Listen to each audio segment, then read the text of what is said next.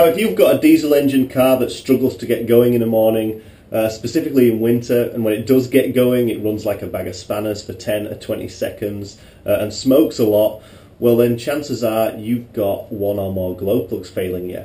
So let's take a look at how to remove, test, and replace these things.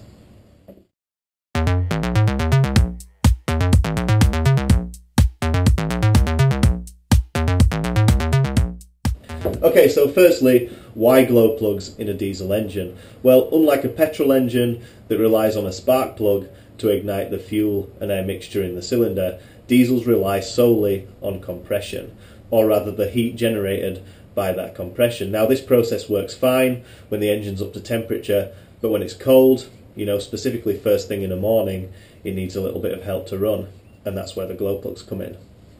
Right, so the engine in the pickup has four glow plugs, uh, that's one per cylinder, uh, and as it's standard practice to replace the full set, that's what I'm going to be doing today. Uh, now the only thing I've done previous to this is spray them all with a bit of penetrating fluid, and that's just to try and make my life as easy as possible. Let's get to it.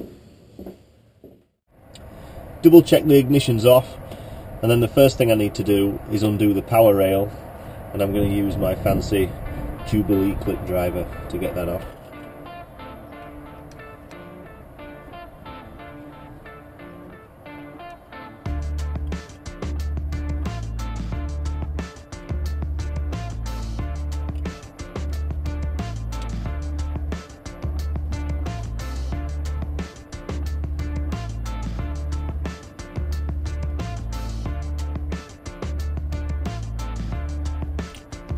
Now with the power line disconnected, you should just be able to maneuver it out of the way.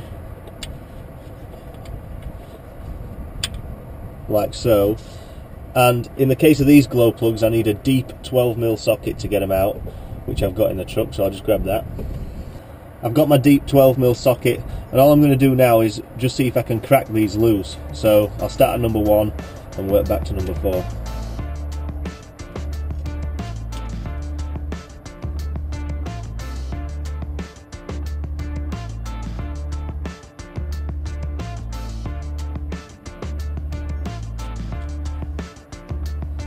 So removing these is very much like removing a spark plug, uh, which is fine if you've removed a spark plug before. If you haven't, well, it's not much help.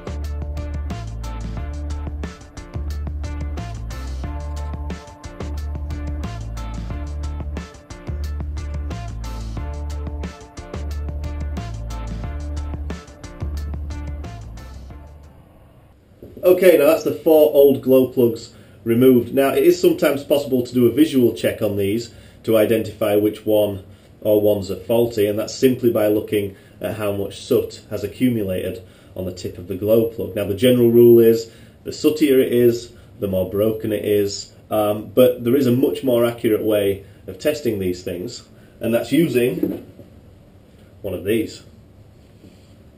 Okay, grab your multimeter and set it to the lowest setting on ohms.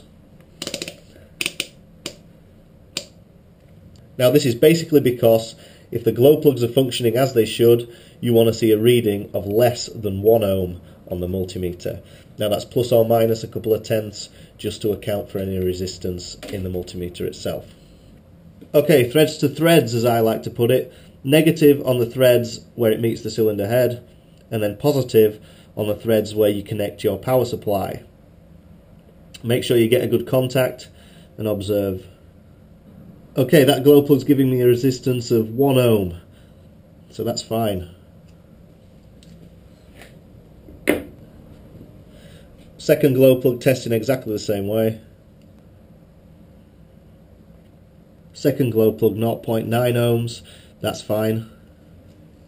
Third glow plug 0.8 ohms, 0.9 ohms. Either way, that's fine. Okay, the final glow plug. Now I have saved the sootiest for last. And to be honest with you, I'm kind of hoping this is busted.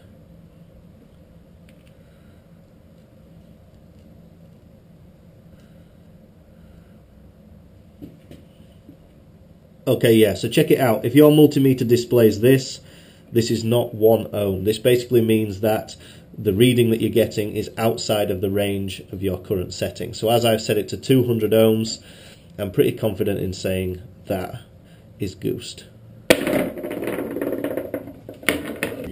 Okay, so I managed to isolate my faulty glow plug, uh, and to be honest with you, in this case, a visual check would have been good enough because this thing is the sootiest of the four, and I don't know if the camera's good enough to pick that out, but there's a massive chunk of the ceramic tip that's broken off that.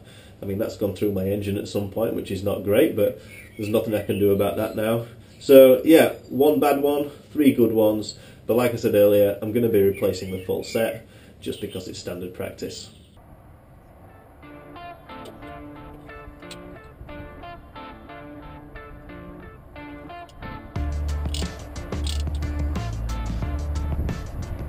Now these don't have to be ridiculously tight, just snug.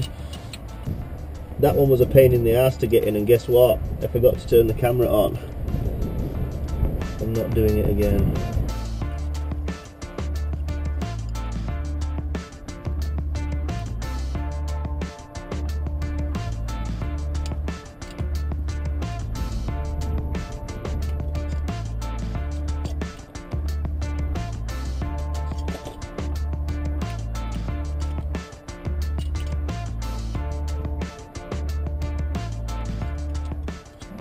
Right, now the last part is getting the power rail back on. Uh, now, I'm dreading this bit. I noticed taking these little uh, little nuts off, it was a pain. And getting them on, it's going to be even worse.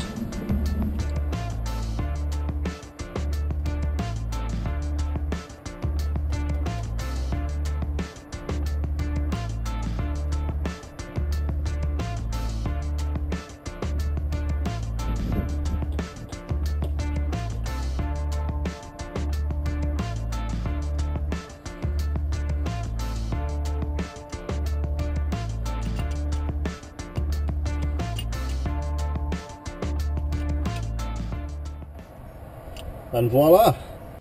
And then all you've got to do is wait for the following morning to test out your handiwork.